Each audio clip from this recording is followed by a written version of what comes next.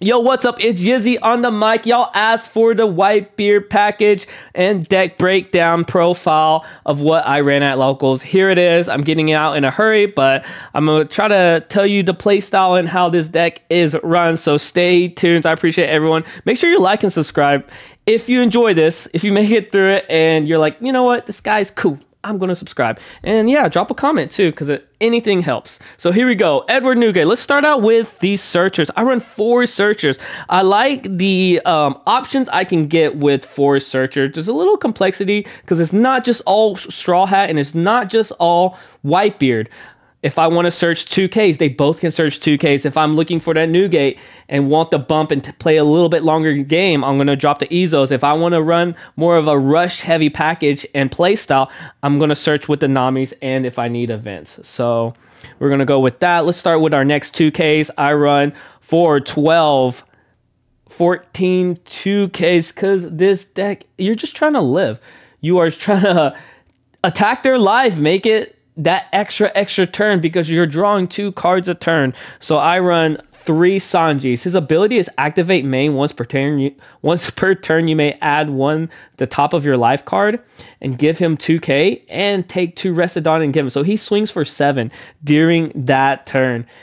And sometimes you just gotta do it. If you're playing someone that's weak in the rush game or weak to rush and aggro, I mean, why not? Otama on play, give one of your opponents negative two. It combos well with Newgate, combos well with Ace as well. And then we have Jozu, which gives you another option if you're searching with Izo to add more consistency on that 2K. And Makino makes your Nami and Izos legitimate attackers. Um, for my four Don curve, I run two Monkey D. Luffy's um, you can play Marco as well. I just needed a spot for the four Don curve. Um, in this meta, four is kind of easily removed by Sakazuki or like Gedatsu's or whatever it may be.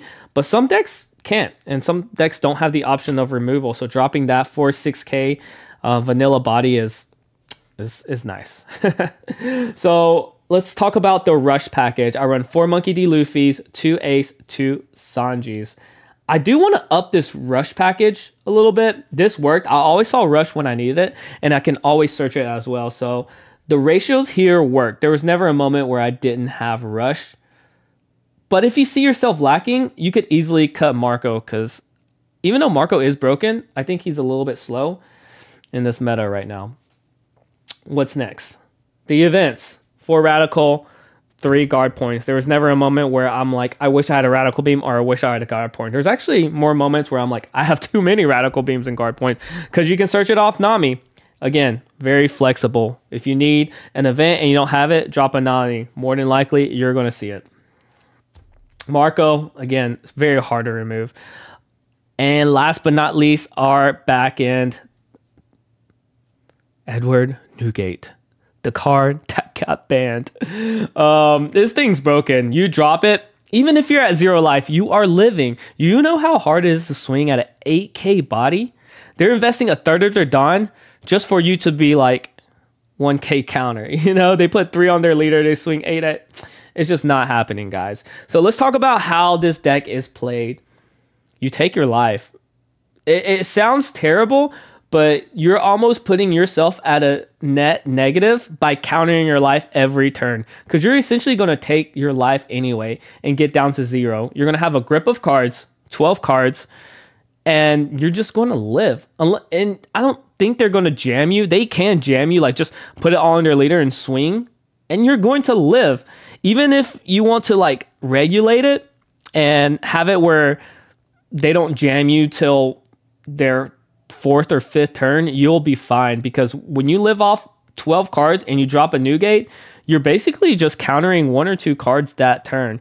And if that feels very uncomfortable with you, just play a couple of sim games and just get comfortable with just taking your whole life. Even if it's the wrong move, take everything. Just take everything. You're going to feel at that threshold where you're like, okay, this is where I need to counter on these type of swings. I don't counter on these type of swings because with that you say, you use that counter to save your rush units because you're dropping rush units every every turn. let me think what else in the matchup with purple D Luffy or Pluffy. I think I should have rushed more. I would play more aggro in that matchup. Uh, with Sakazuki, aggro in that matchup. And with Katakuri and Enel, aggro in that matchup. so if anything, I would take out one more Marco. Sometimes you can just drop the Edward Newgate because you know you're going to live and you know that your Ace and, or Monkey D. Luffy are there and you can possibly just not swing with them. Swing with your leader, get them down to a lethal range. But if anything, I would change as a flex option. Possibly one Newgate and one Marco and add some type of rush package, whether it be a Zoro one more Sanji and one more um, Ace. Other than that, if y'all have any more questions on how this deck is run or questions on what why my ratios are what they are, join the Discord. It's a very small Discord. I'm growing it, so you can drop a comment there or you can drop a comment in this video. Other than that, yeah, here's the breakdown profile and how this deck is played and why I have the ratios I do have. I appreciate everyone. Make sure you like and subscribe if you enjoyed it, and we will see y'all later. Peace.